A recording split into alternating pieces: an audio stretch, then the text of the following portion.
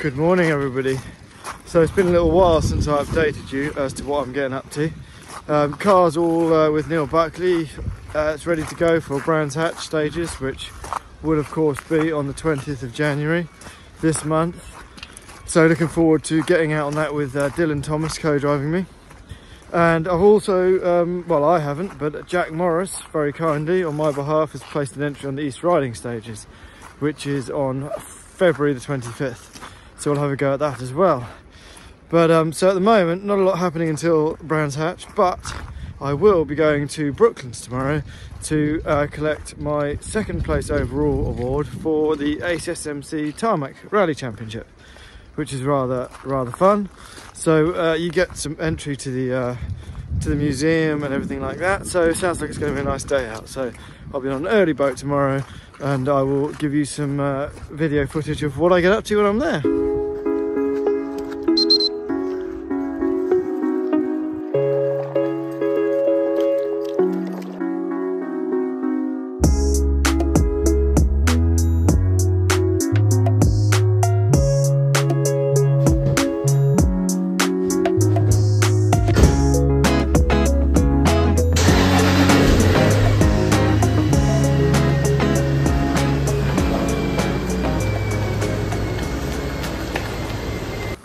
Oh, so here I am on a bright and sunny day.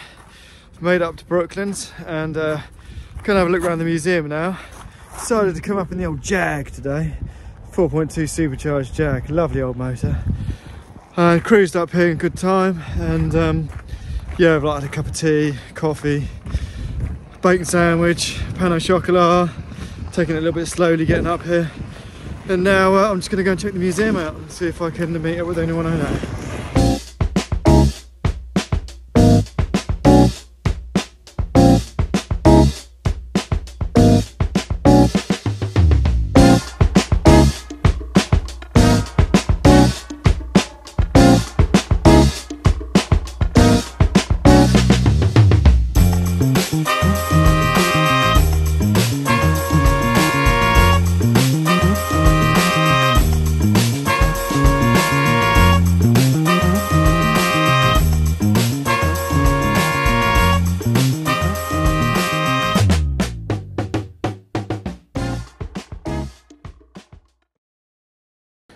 So just getting myself sorted to go off to Brands tomorrow and um, as far as I know everything's cool with the car so uh, I just literally got to go and get the 10.30 boat tomorrow Friday get myself up there and uh, meet up with the guys and um, prepare myself to do the event the following day.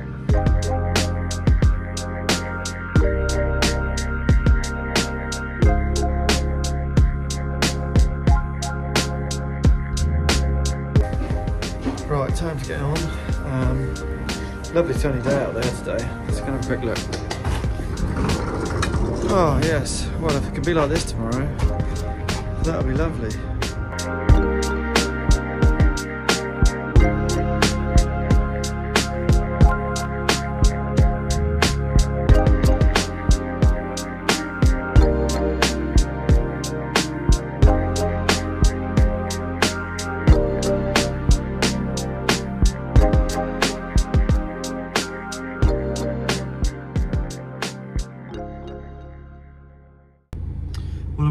At Brands Hatch a little bit early, we're just waiting to go in.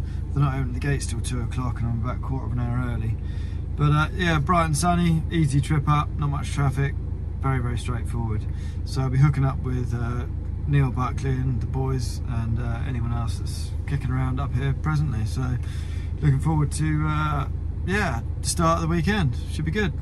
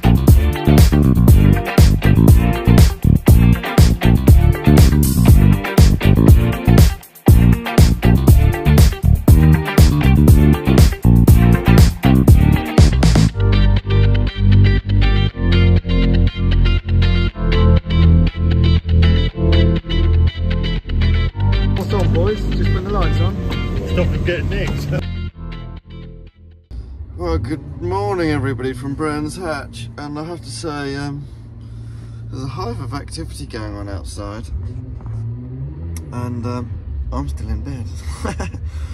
so it's quite nice, really. I can actually uh, see what they're up to from the comfort of my bed. That's looking pretty good, isn't it, eh? Well, better go out and see if there's any frost about. Right, let's go outside and see what's going on. Here's the co-driver, look. Morning. Morning, how's it going, mate? All right? Gonna get your belt sorted out? Yeah.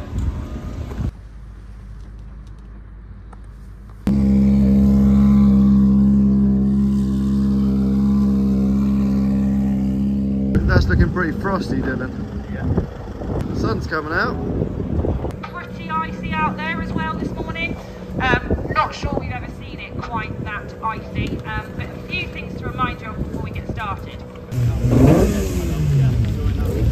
that's stage one done, and my dear fellow Wayne's Hello. here. All right. How'd you get on? Yeah, all right, mate. Yeah, Yeah, slippery. slippery. Bloody slippery. Oh, Always good, is good. slippery. Yeah, more ice out there than I've seen before. Yeah, no, It was all right. Yeah. Good. anyway, you're not here though in your car. no, just spectating this yeah, weekend. that's all right. I Well, know. It's always the way though, when you come, you wish you were doing it, don't you? yeah, I know. Yeah. I was thinking, why's the car at home? No. Yeah, be all right, won't it? yeah. So yeah, so stage one's done. So that's the first hurdle. So we've just come back in off of stage four, and uh, after stage three, everything was going very well.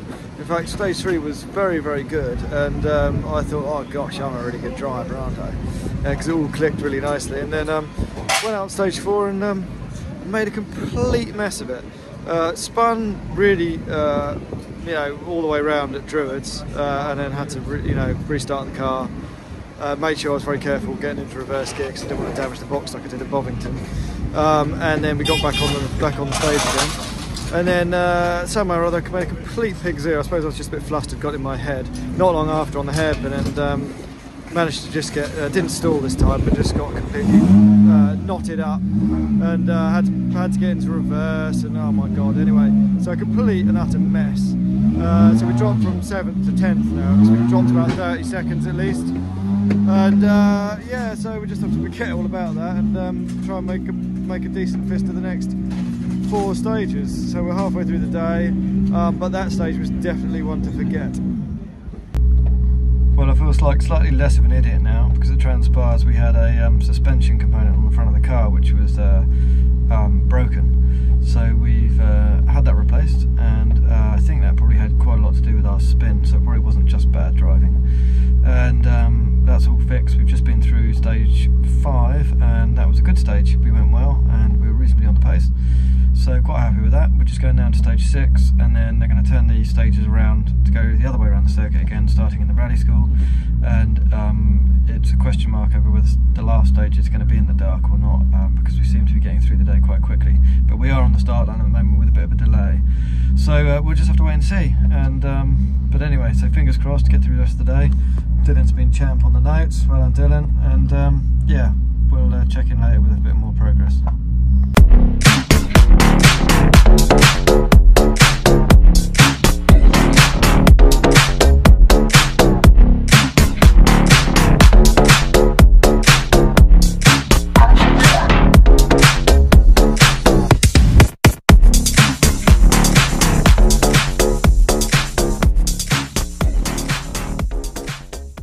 Hello again.